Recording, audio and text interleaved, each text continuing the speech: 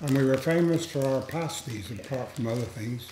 And I was just saying, turning up Facebook, Facebook gets on about us.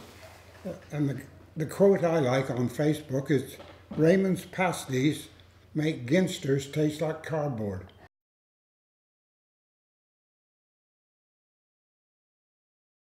My wife is that lady there on the end. Well, they, they were with the girls' training corps.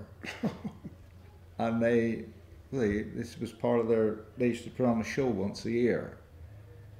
And a chap called, he was a, he was a, he was a current, a major in the Army Cadet Force in Exeter, and he's, Bill Wheeler he was called, and he used to come down and produce it for him, you know. But he was, he was a professional, you know, in, in the theatre world.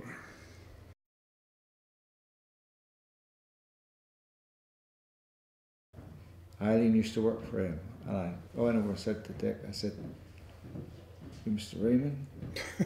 he said, he looked, I said, well, Dick Raymond? He said, yes. That's better. And I said, my wife used to work for you. And he looked at me in amazement. I said, yes. I said, Eileen Bryant.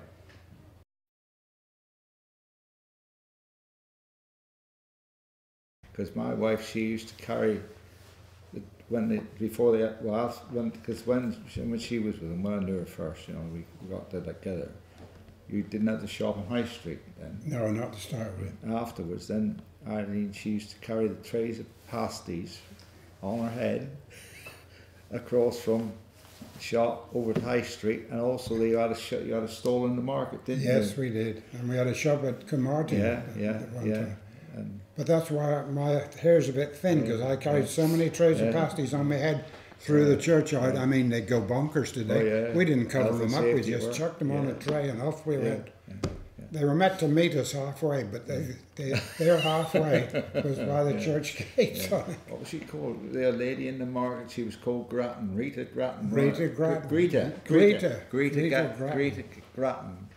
She There- she did the stall in the There, market. there there again, we used to put all that stuff in a blinking trolley thing, all exposed and push it up the street. Yeah. They go bananas today. I don't think anybody died of food No, poisoning. nobody got ill, did they? no.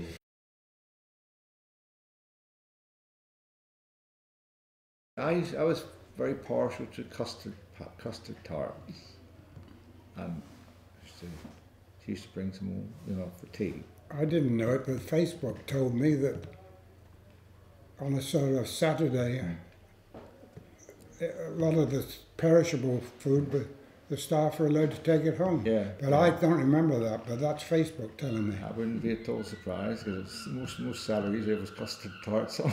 And, and we also used to give a surplus of food like that to the uh, children's homes, yeah, cottage homes. Yeah, cottage yeah, homes, things like that. Yeah, yeah. Because I know they we used to supply them with bread and they used to fetch it in a donkey cart. Yeah. Can you believe that? I can see, I can see that old boy now. Your little yeah, Yeah. little white goatee beard, didn't it? Yes, yeah, yeah. Yeah, and when to- the donkey died, the old man died. Didn't Did he? I don't yeah, know. Yeah. Used Or to come it was the other way don- round. You know, the old man died and the donkey died just donkey afterwards. cart. This yeah. is making me feel awfully old. yeah. I can remember the donkey.